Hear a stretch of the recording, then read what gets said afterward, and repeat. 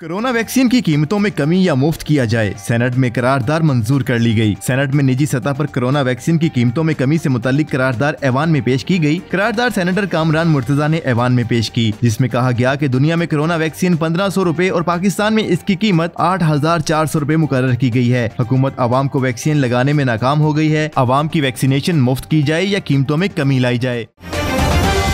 Opposition को लेकर चलेंगे और हुकूमत की आवाज़ बनेंगे। सेनेट इजलास में इजहार ख्याल करते हुए यूसुफ रजा गैलानी ने कहा कि मैंने पीडीएम के ताउन से सेनेट इलेक्शन लड़ा और सेनेट इजलास में अपोजिशन को साथ लेकर चलूँगा। उन्होंने कहा कि पीडीएम में आईनी हकूक खातन अकलीत और दीगर की आवाज़ बने। हम अवामी मुफाद के लिए आए हैं और आवाम की तर्जुमानी करना फराइज में शामिल है।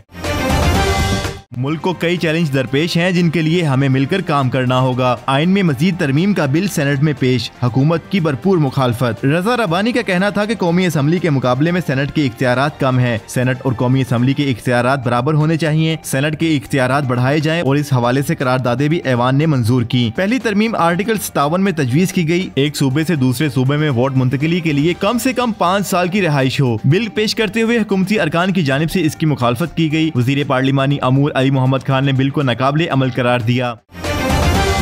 इम्तिहानात आगे बढ़ाना पड़े तो बढ़ाएँगे, लेकिन तलबा को प्रमोट नहीं करेंगे। कराची में प्रेस कॉन्फ्रेंस करते हुए सईद गनी ने कहा कि एनसीओसी इजलास में स्कूलों की बंदिश पर बात हुई थी और स्टेयरिंग कमेटी की अक्सरियत ने स्कूल बंद करने की राय दी। इन्होंने कहा कि कोरोना सूरत हाल पर सिंध में पंजाब और खैबर पख्तून वाले हालात नहीं। पंजाब और के पी ऐसी बैनल सूबाई ट्रांसपोर्ट, ट्रेन और हवाई सफ़र बंद किया जाए, क्यूँकी लोग आते जाते रहेंगे तो वायरस लोगों को नुकसान पहुँचाएगा।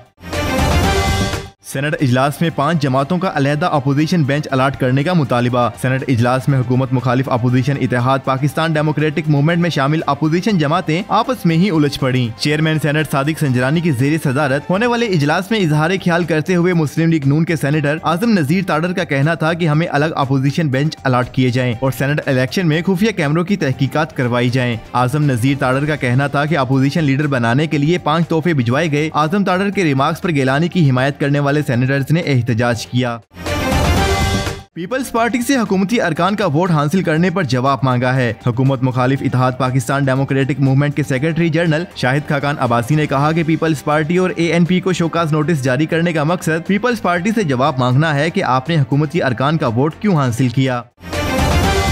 कौमी टीम मैनेजमेंट ने फकर जमान के रन आउट का मामला मैच रेफरी के सामने उठा दिया। पाकिस्तान टीम मैनेजमेंट ने मैच के इख्ताम पर फकर जमान के रन आउट के मामले पर मैच रेफरी से बात की और इस सिलसिले में कौमी टीम के मैनेजर मंसूर राना ने मैच रेफरी से एंडी पाई क्राफ्ट से जबानी बातचीत की। पाकिस्तान की जानब से इस मामले पर बाजाबता तहरीरी तौर पर शिकायत नहीं की गई है और सिर्फ़ मैनेजमेंट ये मामला मैच रेफरी के इल्म में लाए हैं।